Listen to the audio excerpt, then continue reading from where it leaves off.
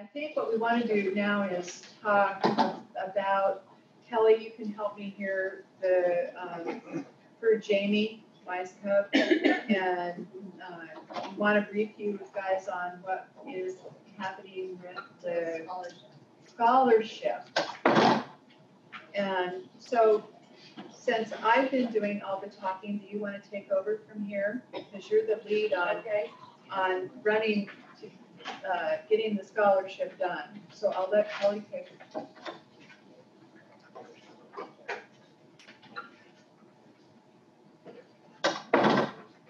So, Jamye Wisecup used to be one of our advisory board members. She has been for five years.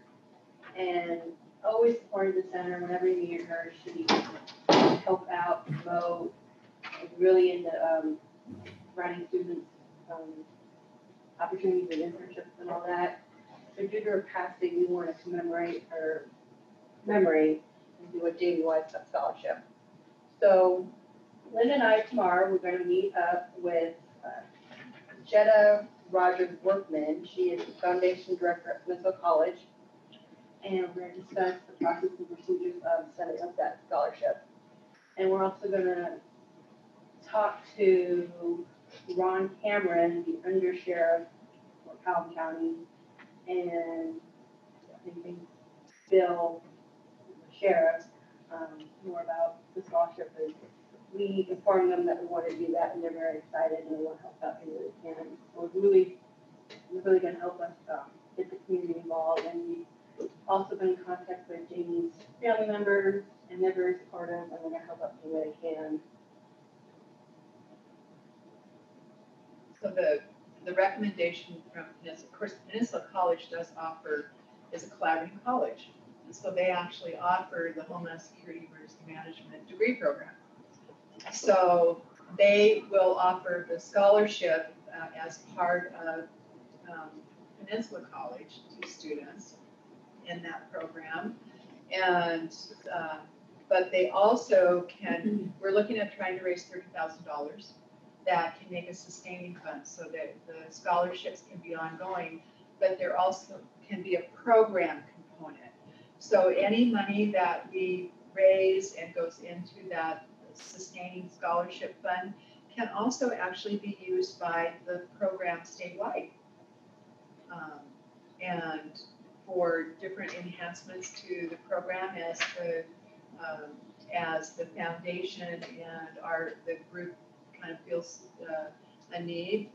But first and foremost, it will be available for scholarships.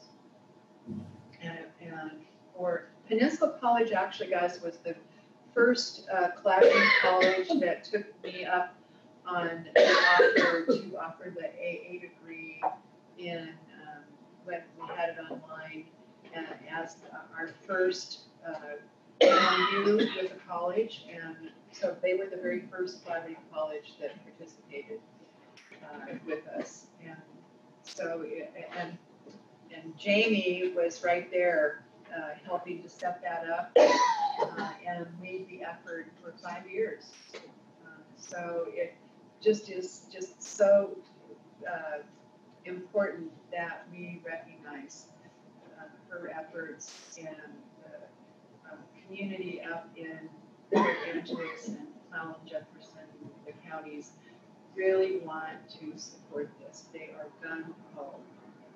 Um, And so they had uh, several hundred people that turned out for Jamye's celebration of life. Uh, And so we really do think that we should be able to raise thirty thousand dollars. Given the numbers of people in the community who knew that Jamye dedicated her life to helping them be prepared uh, and respond appropriately for emergencies and disasters. That was her, that was just what she lived for. Um, And her family is very supportive as well.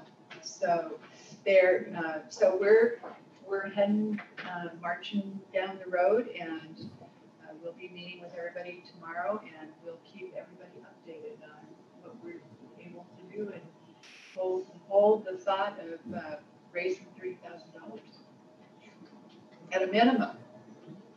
So, any questions?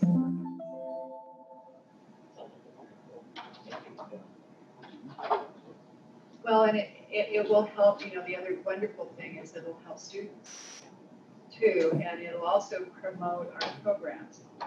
So that, again, the more that we get out and about and talk about these opportunities, the more people are aware. And also, uh, with SEMA, it, uh, is supportive.